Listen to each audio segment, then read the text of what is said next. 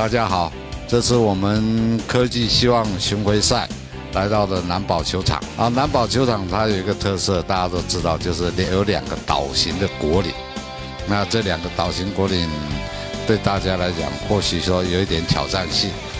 那另外，对于南宝球场的这个攻略来讲，有两栋特别要注意到，就是说，像 B 区的第五栋，它几乎将近是九十度的转弯。然后它前后就在 T 台的前后有一个大概将近一百八十码到两百码的距离的一个水塘，你必须越过去啊。另外一个就是在 A 区的第七栋，它是一个大下坡，然后又上坡，那基本上对我们选手来讲，大概不会有太大的困难，就是主要是在第二杆攻攻击的时候，它的坡度比较大。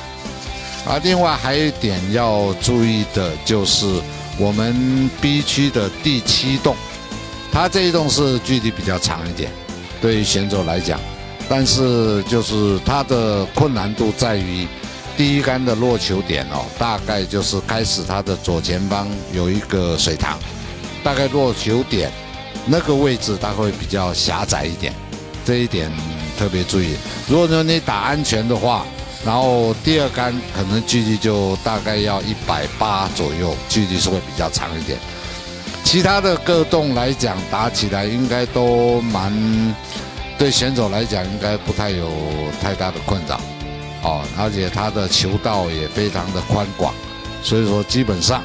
那这一个南宝球场的呃要打击的话，并不太困难，所以说我希望选手们。都能够有一个很好的成绩，好，谢谢。